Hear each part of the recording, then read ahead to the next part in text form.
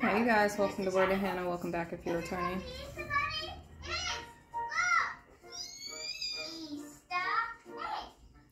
So, a few of the channel messages that I've been receiving um, have been, of course, about like people wanting to distract you, cause delays and blockages. You know, that whole bit, you know, make you feel like, you know, should you stay, should you go? But more than that, I've been picking up on the energy of there being a court case coming up this week. There could be people who are like planning some sort of an attack. Um, could be riding around. Um, could plan on doing something so that you can't testify against them, so that you can't provide clarity and details about a court case is coming up. You could be a high priestess. It could have to do with the Page of Wands energy. Um,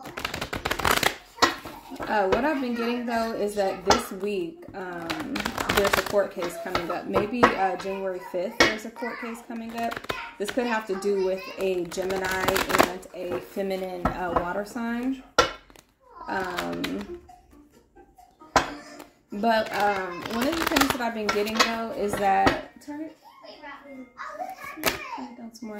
Um, what I've been getting though is that what some of you could be experiencing is similar to what I've been experiencing, where people are trying to like. Um, I didn't know until another reader spelled it out a little while ago what it was.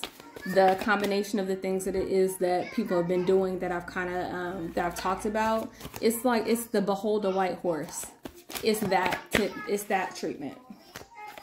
Um, and it has a lot to do with stalking monitoring. Like it has like a, a, whole lot to do with that. It has a hell of a lot to do with that.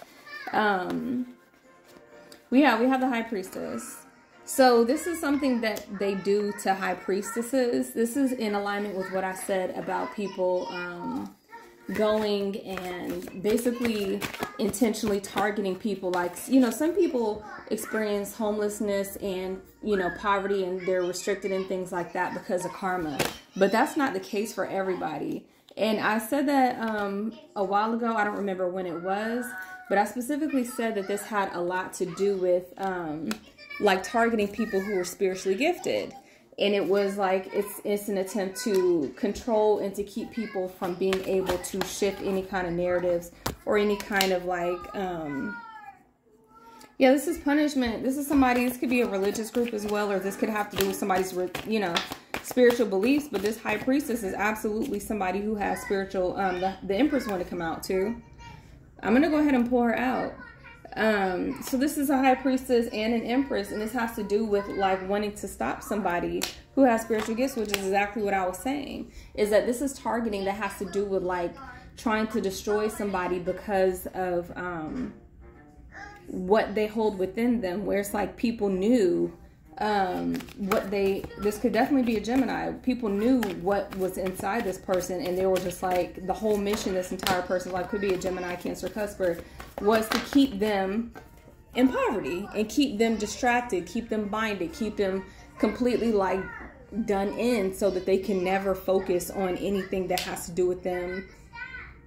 You know, evolving spiritually, so that they can then go and move on to the next. Um, move on spiritually and pick up on messages, channel messages, and things like that. Um, but that's what the homelessness has to do with as well. It's like a lot of those people